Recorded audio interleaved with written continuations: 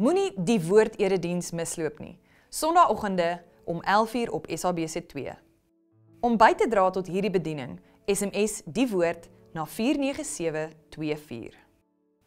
Hallo en welkom hier so by ons oordeenkingtyd saam. Bly jy's hier so vandag en ons is besig om te kyk in ons oordeenkingtyd net na soos die nuwe jaar aangebreek het, is daar ook woord vir die nuwe jaar en ons hoop hierdie woorde kan jou bietjie bemoedig vir alles wat voor lê hierdie jaar en ons kyk bietjie vandag na Psalm 115 vanaf vers 1. Dit sê nie aan ons nie Here, nie aan ons nie, maar aan U naam kom die eer op grond van U liefde en U trou. Nou meeste van die kere is ek en jy as mense dinge doen in hierdie lewe, gaan dit alles oor ons eie eer, oor ons eie selfbeeld, oor al ons eie selfsugtige redes. En hierdie skrif kom sê vir ons, maar nie aan ons nie, Here man, U behoort al die eer, want U is goed en en U is getrou.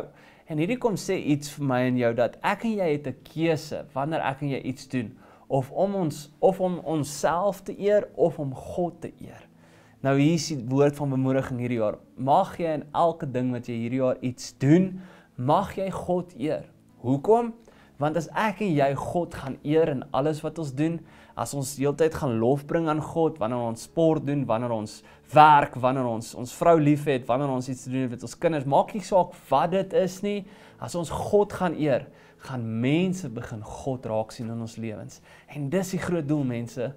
Dis so wonderlik as ek en jy heeltyd dinge gaan doen vir onsself, gaan mense net onsself sien.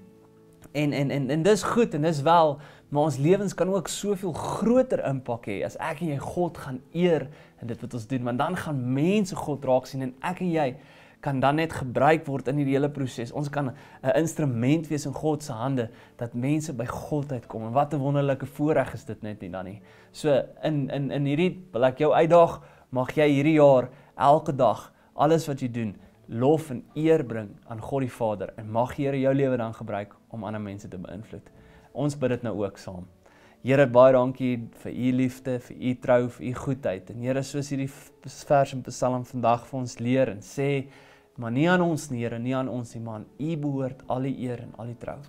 Here, so baie dankie daarvoor. Dankie dat ons u u eer kan bring en in die proses Here ander mense dalk kan inspireer en Vader ek wil juis net daarvoor bid vir elkeen wat luister wat voel hulle hulle doen dinge net vir hulle self Here mag hulle vandag 'n keuse maak om te sê ons begin lewe vir U Here Jesus. Ons lewe vir U koninkryk. Ons lewe vir U wil.